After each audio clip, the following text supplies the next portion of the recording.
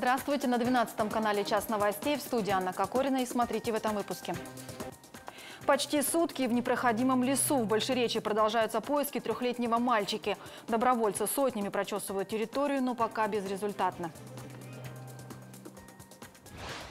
Большая перезагрузка в детских поликлиниках. Это будет в каждом лечебном учреждении для оказания полноценной медицинской помощи деткам. За счет чего сберегут время и нервы пациентов. Известные полотна Врубеля, да Винчи и Рубинса, вышитые крестиком. Каждый крестик я вот эту любовь попыталась вышить. В историческом парке представили работы омской рукодельницы. И просят о здоровье, благополучии и семейном счастье.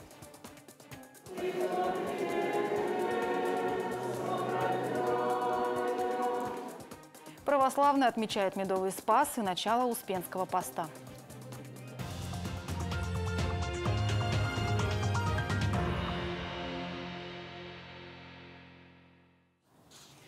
Добровольцам, отправляющимся на поиски трехлетнего Коли Бархатова, советуют взять с собой навигаторы. Их поисковикам очень не хватает. Также нужны люди, которые умеют ходить по тайге, болотоход, рации, компасы, фонари и аккумуляторы.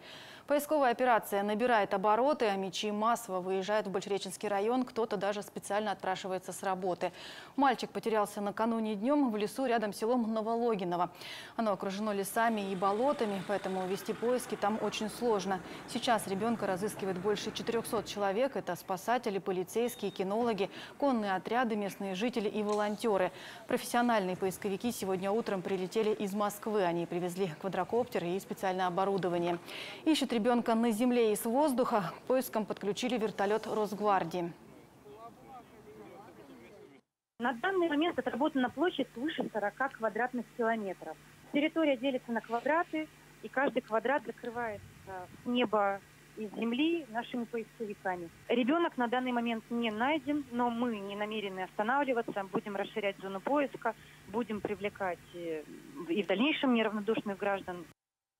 Есть информация, что удалось найти лишь пакет с конфетами. Его, вероятно, Коля брал с собой. Но самого мальчика до сих пор не нашли.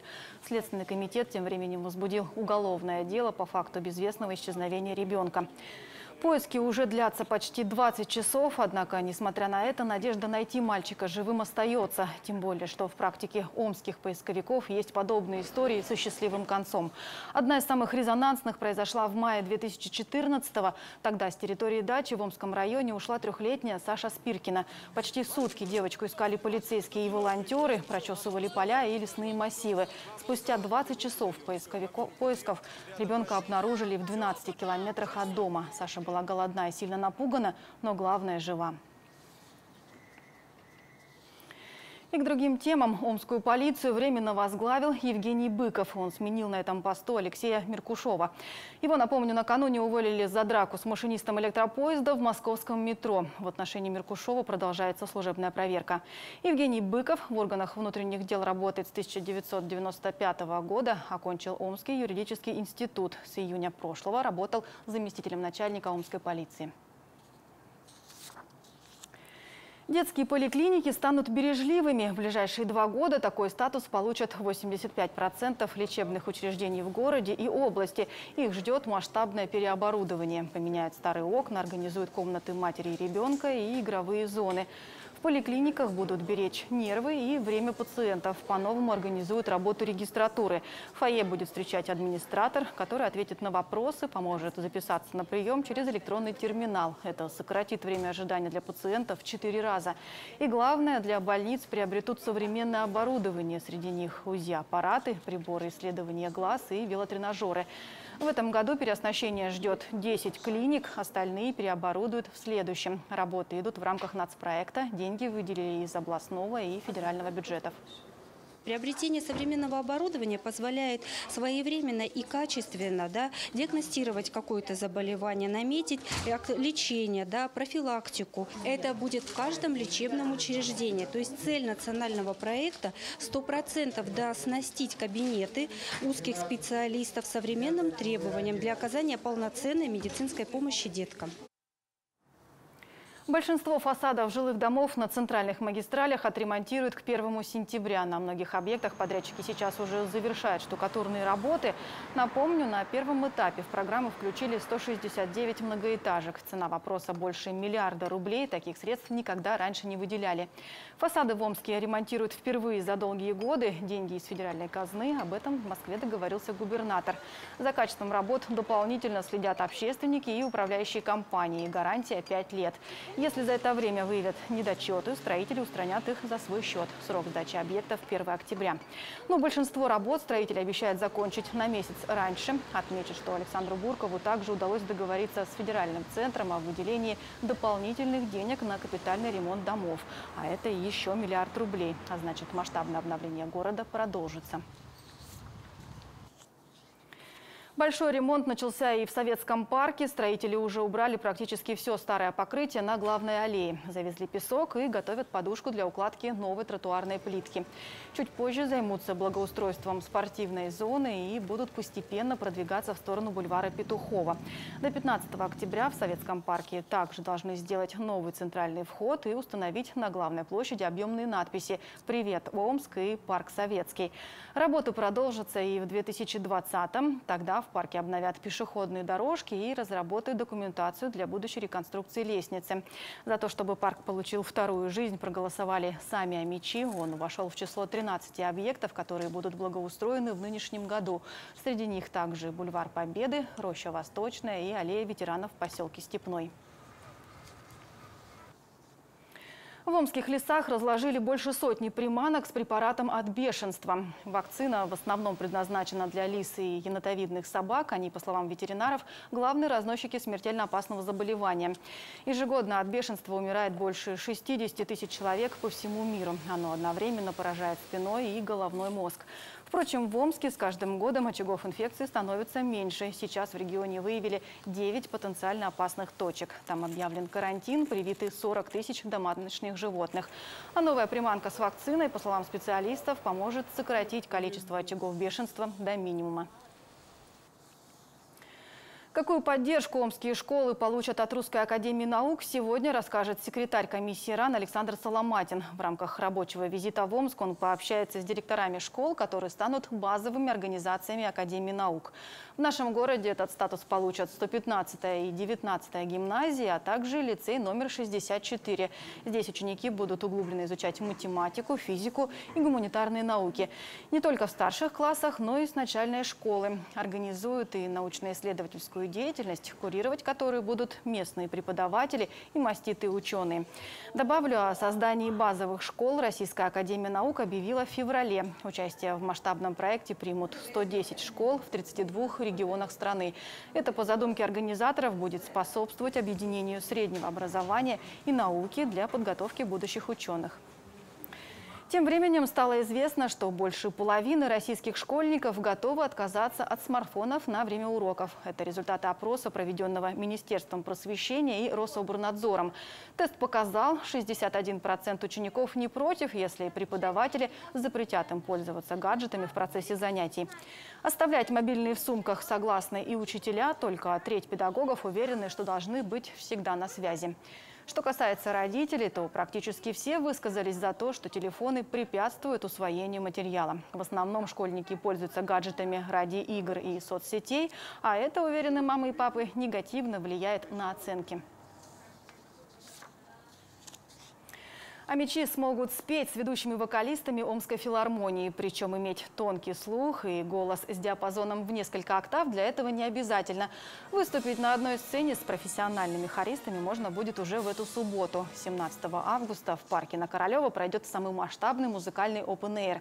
И на этот раз все гости симфопарка станут не просто слушателями, а непосредственными участниками процесса. Начиная с 13 часов исполнят известную мелодию из 9 симфонии Бетховена – ее называют «Одой к радости».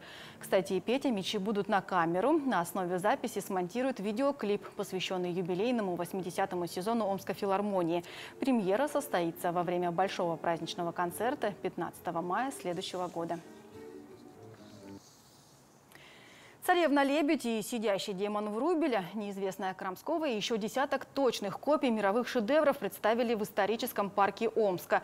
Известные полотна вышиты крестиком Амичкой Татьяной Мозгалиной. Рукодельница старалась максимально точно передать мазки именитых художников Брюлова, Рубинса и Леонардо да Винчи. На выставке амичи смогут не только насладиться красотой полотен, но и сами пристраститься к вышивке. Мастер-классы здесь будут проводить каждый четверг и субботу. Как рождаются шедевры, уже увидел мой коллега Максим Гречанин. Сто оттенков. Именно столько использует мастер при создании своих шедевров. Каждый день Татьяна Мозгалина вышивает по 12 часов. Старается усложнить работу, насколько это возможно. К примеру, выбирает полотна большого размера, использует самую тонкую канву и вышивает в одну нить. Такой ювелирный труд не прощает ошибок, потому творить приходится с особой аккуратностью. Сложность еще и в том, что все картины Татьяна создает по своим, авторским схемам. Самая дорогая работа – это, конечно, моя первая работа. Ну и, как правило, работа, которой последней занимаешься, она получается, ну, пока ты ей занимаешься, но она получается самая дорогая. Ты же в данный момент с ней. Вот. А первая работа у меня хранится у дочери э, в Шотландии. Там она, конечно, вышита не так профессионально, но она любимая. Во-первых, потому что дочь. Во-вторых, потому что я очень люблю. И в каждый крестик я вот эту любовь попыталась ей вышить. До исторического парка картины автора выставляли и в галерее регионального министерства культуры. Репродукции полотен Эдгара Дега и Леонардо да Винчи, Ивана Крамского и Михаила Врубеля. Уже появились и почитатели таланта омской вышивальщицы. Ну, конечно, это необыкновенные картины, адский труд. Вот именно крестиком и такие большие полотна, это, конечно, заслуживает уважения. Эта женщина, она, конечно, молодец. В каждой картине Татьяна стремится к достоверности. Так, например, работа над полотном по мотивам голландского художника «Девушка с жемчужной сережкой» мастер долго подбирала шелковую нить именно жемчужного оттенка, чтобы сделать в итоге всего несколько стежков. А платок «Царевный лебедь» по шедевру Врубеля Мозгалина вышивала особыми серебряными нитками. Благодаря этому удалось передать мистичность и отстраненность. Именно таким образ получился и у великого художника. Какой сюжет ляжет в основу следующего произведения, автор пока не знает. Но говорит, выбирать будет, как и прежде, сердцем. Никита Гайдаш, Александр Саражин, Максим Гречанин, 12 канал. У православных всего мира сегодня начался Успенский пост. Главная праздничная служба в Омске прошла в кафедральном соборе.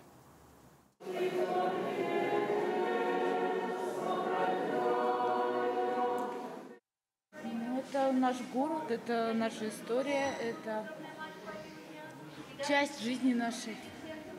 Мы часто здесь бываем. Вот я на причастие привела ребенка, и сегодня начинается Успенский пост, Медовый Спас. И вот как бы праздник на причастие привели ребенка.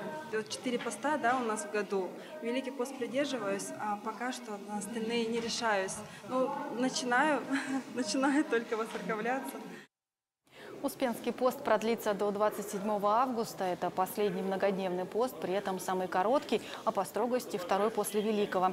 Две недели верующим нельзя есть мясную и молочную пищу и морепродукты. Только 19 августа разрешена рыба. Сегодня православные просят о здоровье, благополучии и семейном счастье. Пост преследует цель духовную. Это э, более плотное общение с Богом, это умная молитва, это подготовка себя, по сути, к тому, что придется предстать пред Богом когда-то. Что дадим тогда? И вот здесь э, зачастую мы можем с вами не кушать-то ничего, но телевизор смотреть или интернет, или еще очень много информации различной принимать столько, что и пост нам будет, по сути, бесполезен. Потому я, конечно, бы желал, чтобы мы все с вами попастились постом приятным, где-то э, вошли в тишину, в первый день Успенского поста верующие отмечают и медовый спас. С этого дня разрешалось есть овощи, а пасечники начинали сбор меда и его освещение. Но завершится пост успением Богородицы. Этот день лучше провести рядом с родными и близкими.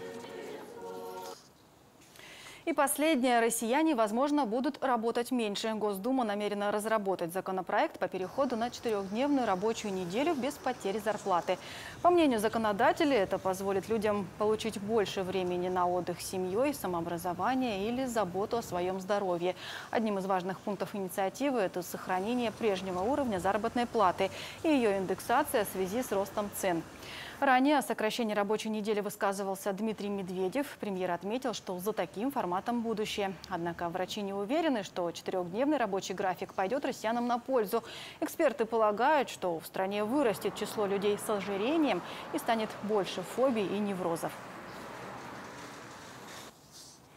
Далее прогноз погоды, ну а все наши новости доступны в социальных сетях, ВКонтакте, Твиттере, Одноклассниках и на Ютубе. Найти их можно и на сайте 12канал.ру. Там же мы выкладываем и полные выпуски программы «Час новостей».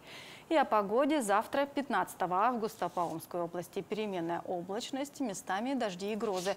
В районах ночью 13-15 градусов тепла, днем до плюс 25. В Омске ночью 14-16 со знаком плюс, днем 22-26 тепла.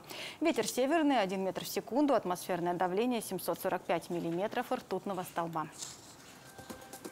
На этом пока все новости. Следующий выпуск смотрите в 17 часов. Хорошего вам дня!